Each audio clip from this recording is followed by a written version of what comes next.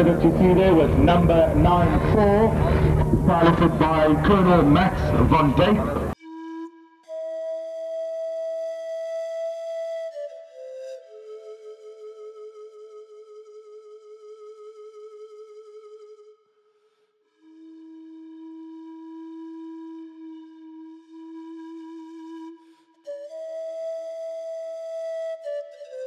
I mentioned a nice welcome to Captain Chris gentleman that graces the towers with us as we work throughout the country, a new sequence by the Harvard Aerobatic Team.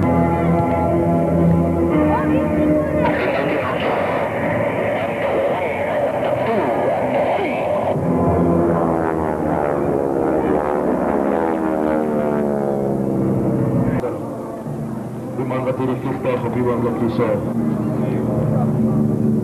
This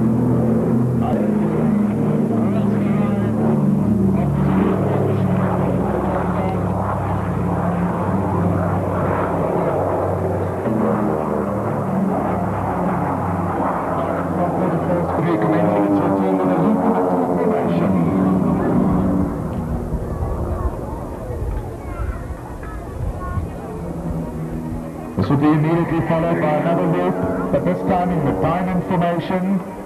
Chris and Griff having moved back slightly to change the formation from a 2 to a